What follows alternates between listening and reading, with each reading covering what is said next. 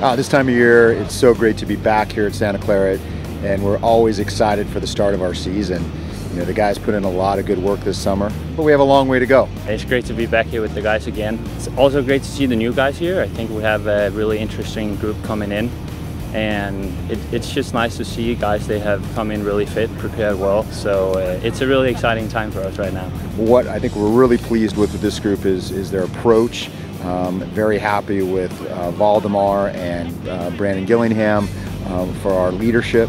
And, um, you know, now it's a matter of just continuing to, to stay very focused um, and very committed uh, to the team and the concepts so that we can grow as quickly as possible and be playing very, very well when we see Maryland in our first game. We have uh, spent time on, on our pressure and how uh, we want to approach that this year try to see if we can be a bit more in control of that and, and really affect the game more that way.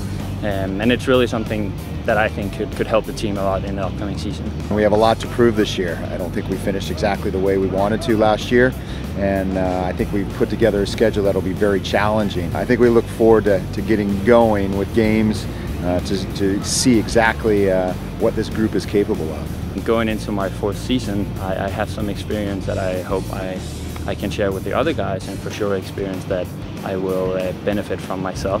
I know it will be a great year and I will do my very best uh, along with the other guys to make it great and, uh, and then hopefully there's, there's something more going on beyond Santa Clara soccer.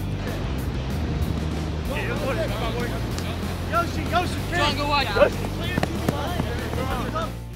Julie Doyle, what a heck of a goal she scored. That was a cracker of a goal. She's been a little injured for us, so we limited her minutes today.